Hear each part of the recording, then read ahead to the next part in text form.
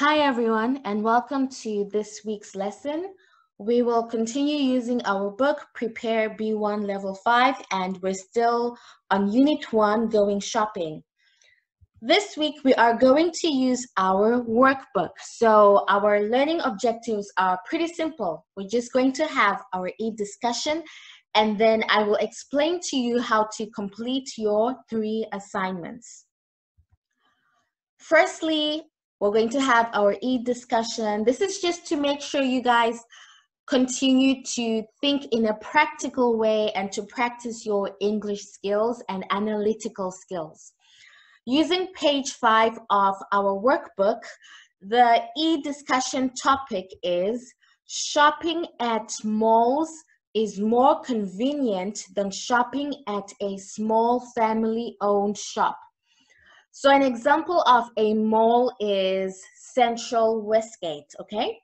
And then an example of a small family-owned shop would be a 20 baht shop. I will use those examples.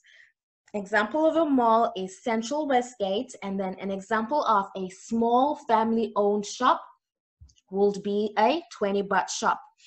The question here is just based on whether it's better to shop at Central Westgate or it's better to shop at 20 baht shop. You guys remember the meaning of the word affirmative, right? Affirmative means yes or to agree. Non-affirmative means no or disagree. So on one hand, the topic agrees that people should shop at malls more instead of shopping at a small family owned shop because it's more convenient. Why is it convenient? Oh, by the way, the word um, convenient means that um, easy access, no problems, and easy to work with. That's convenient you have no problems and you have easy access okay so it's actually better to shop at malls because it's easy to go there and the reasons why it's better to shop at malls are there are many shops to choose from and there are different services and products. If you go to central westgate you can go to the fourth floor and you can go watch movies you can go to the third floor and you can find restaurants. You go to the second floor, you can find uh, electric gadgets and you can go for a massage or go to the dentist and then go to the first floor, buy some clothes. So there are many options and there are different services and products. So that's a good thing, right? Another reason why shopping at malls is more convenient is that malls are more aesthetic. The word aesthetic means that it's beautiful to look at.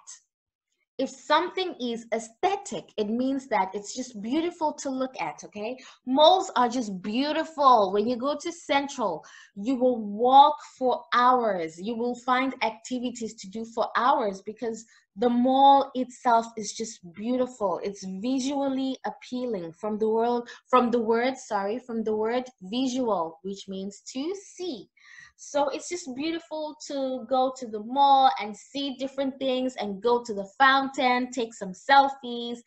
It's better to shop at the mall. It's a beautiful place to be you can also spend more time with your family and your friends. You can walk up and down. You can look at things that are on discount and just walk around. It's really fun, right? You spend time with the people you care about. And also at malls, you can find discounts and promotions. Buy one, get one free, get one for free. Um, buy one get the second one 50% off. There are always discounts and promotions somewhere. And then malls are more lively. Lively basically means energetic okay? Malls are lively. People are happy. People are just enjoying themselves and it's a good environment. So affirmative. Shopping at malls is more convenient than shopping at a small family owned shop on the other hand, non-affirmative, disagree. We think that it is better to shop at a small family-owned business My example is a 20 baht shop. Why is it better to shop at a 20 baht shop instead of Central Westgate? Well, first of all, if you shop at a mall, you spend more money, right? You you will go to Central and you will buy ice cream. or you will buy the French fries. You know those cheesy French fries. Mm, oh my god. You will buy the cheesy French fries for 60 bucks And then afterwards, you'll continue walking, walking, walking. Next thing you know, you want to buy bubble milk tea, 55 baht and then after that when you relax you now need some water and then that's 20 baht. So when you shop at a mall you spend more money. You're spending more money instead of saving money. But if you shop at a small family owned shop you will support a local business. You're supporting local businesses, the plural. You're supporting local businesses. You're supporting small families that will use the money to buy food and to pay for school fees and to buy new school uniforms. So you're supporting other families. It's also more convenient to buy from a small family owned shop because you're saving money when you buy from them when you go to 20 baht shop, you know you're not going to buy bubble milk tea, okay? So you're going to buy something that is specific. You know what you want. You know what you want and you will not waste money. And then the last thing, the products from a small family owned shop are usually cheaper. The prices are original, okay? The prices are original and they the family just makes their own profit without you paying too much money.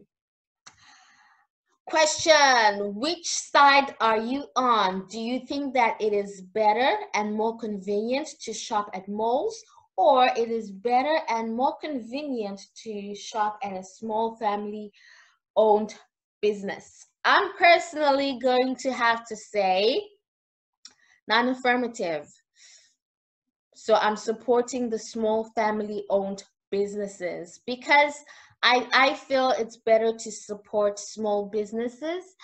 I can save my money mm-hmm, and I can support someone else and help them make profit they can use for their family. But I know some people will choose shopping at the malls because they want to spend time with their friends and malls are more beautiful, that's okay. And some people will be neutral, they'll be in between. They agree with shopping malls and they agree with family owned shop. But personally, I say non affirmative. Shopping at malls is not convenient. I think it's better to shop at small family owned shops or small family owned businesses. Okay, so that's the discussion for this week. Now, we just have one reading exercise and then I will explain your assignments. Soon after this, I will explain your assignments. It looks like when we use the workbook, the PowerPoint video is very short because I'm just explaining to you how to do the work. But when I use the um, student's book, I definitely have to talk and talk and talk and talk and talk because I have to explain some things. But when I have the workbook, very simple. I'm just expl I'm just explaining how to do the homework. Okay, so here we have our reading passage for this week. Our reading passage for this week is titled The Biggest Shopping center in the world. Do you guys know where the biggest shopping center in the world is? Da, da, da, da, da, Dubai. Now, we're going to read this passage. It's not very long. And as we read the passage, we have some blank spaces. We have one, two, three, four, five blank spaces. And we need to fill those blank spaces with these sentences in order to complete the reading passage. The answers are there are customer service desks too, where you can ask for directions. That's just outside the, the mall too.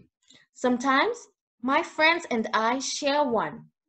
We can't afford to buy much there, even when there are discounts or promotions. You can get anything you like. All right, let's read quickly and then I will explain your homework. Dubai is an amazing place to go shopping and if you love fashion, this is the place to come. My favorite place is the Dubai Mall. It's the largest shopping center in the world by total area and there are about 1,200 shops.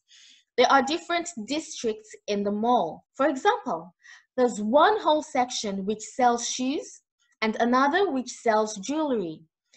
I often spend time walking up and down Fashion Avenue with my friends. That's where the designer shops are like Dolce & Gabbana and Dior. Which sentence goes here? From these options, I would definitely have to say, because we're talking about shopping, we're talking about Dolce & Gabbana and Dior. So the sentence that relates to this statement would be we can't afford to buy much there even when there are discounts and promotions. It's great to look in the windows at the luxury items though.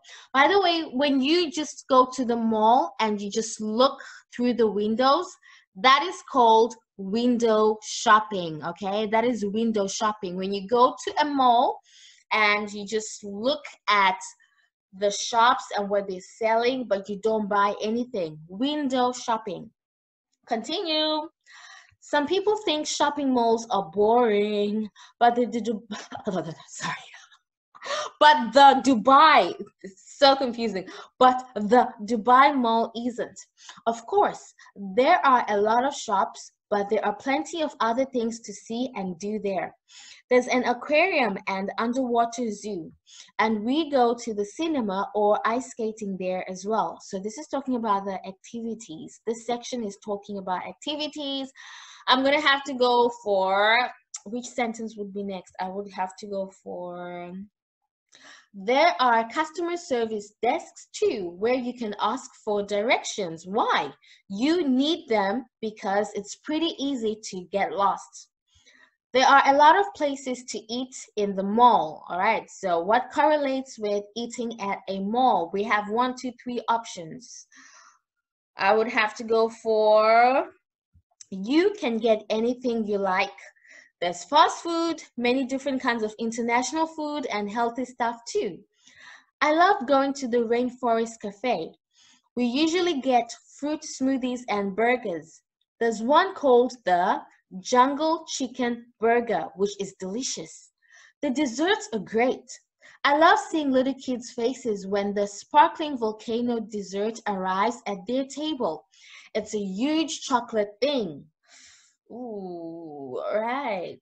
Oh, there we go. Sometimes my friends and I share one. Huh, so that's quite obvious. The last one is this answer. But because it's me, I'm still going to read, okay?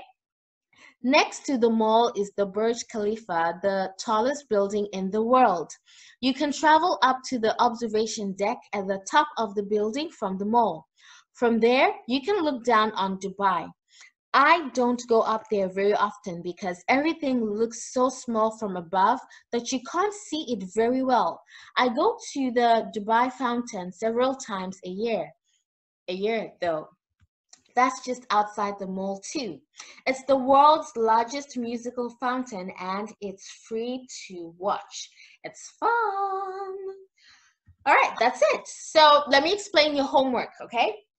This week, you guys have three assignments. Three, one, two, three. The first assignment, please use any notebook Guys, we are on lockdown. Do not worry about using a Tepsirine notebook. Just use any notebook, a 10 baht notebook from 7-Eleven. I don't mind. Any notebook, okay? So using any, any notebook, please complete the sentences with the words in the box.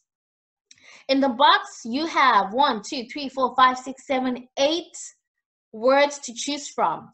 But you only need to use six, okay? You have eight options, but we only need to use six. Please write in any notebook, but use that notebook every week because on 1 July, I will collect all my notebooks. Any notebook, it does not have to be a Tepsiri notebook, any notebook. Just use the same notebook every week. 1 July, I will come and collect my books. Second assignments. This time around, I have given everyone access to the document, okay? So if you check in your lesson for this week, everyone, you have this document. I think you have this document. If you don't have the document, just download, answer, and then upload, okay? So this is class 2, 26 May to 2 June 2020. Okay, write your nickname, your student ID.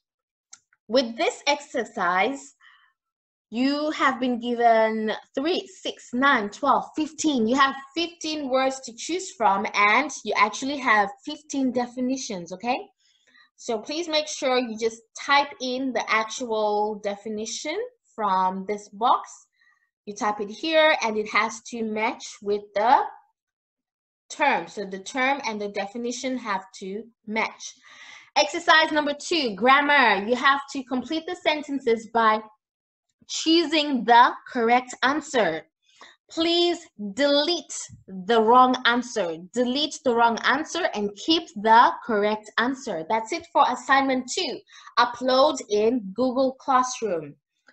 Assignment number three, and then you are done go to joinmyquiz.com and enter the code 4336114.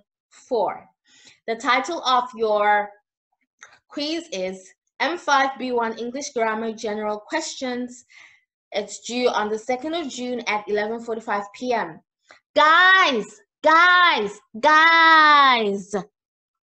When you enter your ID, please just put your nickname and your student number. If your nickname is Sunshine, then you write Sunshine. And if your student number is 14993, then you put your student number, okay? So just put your nickname and your student number. Don't put your full name, don't put your girlfriend's name or your boyfriend's name, even though I want to know.